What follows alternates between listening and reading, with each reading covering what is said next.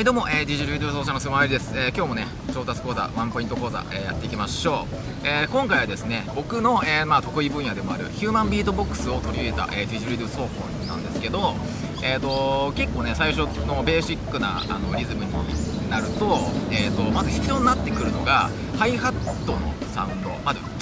このハイハットとあと基本音のドのサウンド。そして最後の1つはトゥーツのサウンドですね。プンっていうトゥーツ。この3つができればそれらしいかっこいいあのヒューマンビートボックスを取り入れたサウンドができるかなと思って。じゃあジジュリドゥでやってみます。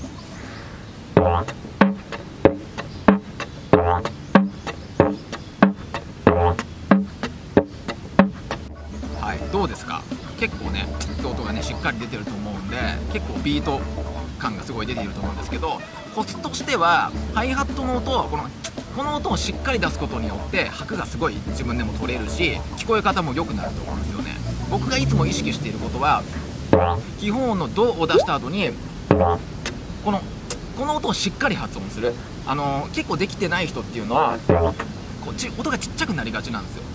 ちょっとちっちゃくなりがちの音で例えばやってみると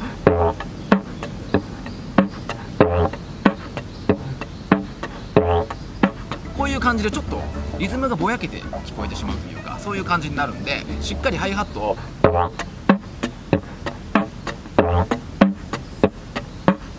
まあトゥーツの音に関してはまあ普通にトゥーツをその後にプッてしっかり出すっていうプッて出すのがまああのコツだと思うんですけど一番大事にしてほしいのはハイハットのこの音をしっかり出すっていうことが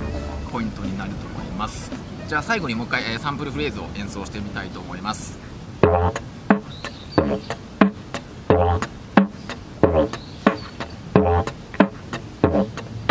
遅くします。